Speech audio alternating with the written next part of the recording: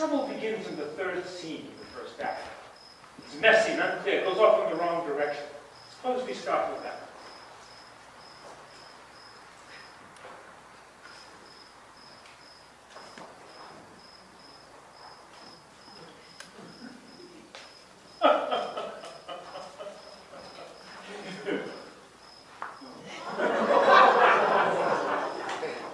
Cutting away the underwood.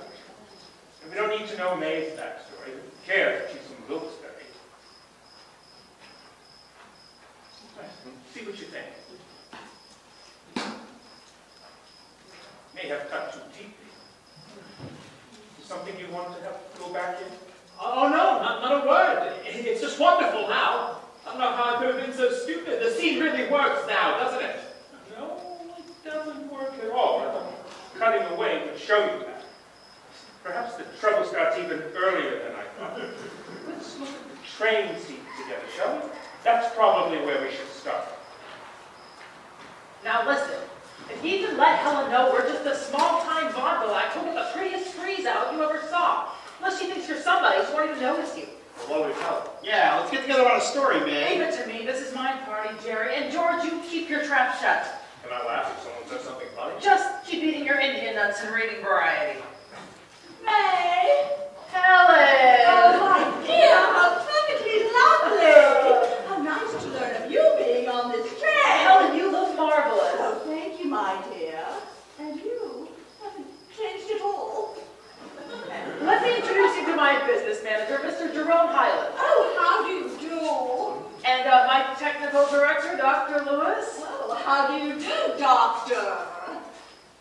Uh, you're doing some sort of newspaper work, aren't you? Oh, my dear, haven't you heard? I write the most widely syndicated column in all of the United States. Why, anyone Again, you spend too much time setting up, setting up Helen. I'll cut to the chase,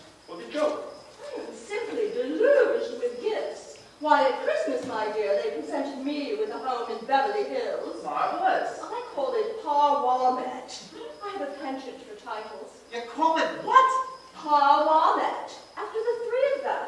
Paramount, Warner, and Metro Goldwyn. The first syllable of each. Won't Fox be sore? Oh, no, Doctor. The Fox studio presented me with a wonderful kennel to go with it. Have them give us some dogs so we And I can... have six magnificent... No, make it eight. And I have eight magnificent... Yeah, well, let's go all the way.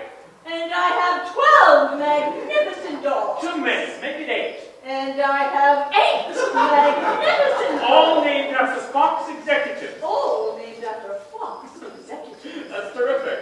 May I tinker with us? Oh, by all means. We worked for five straight hours. I never understood what hard work writing could be until that day.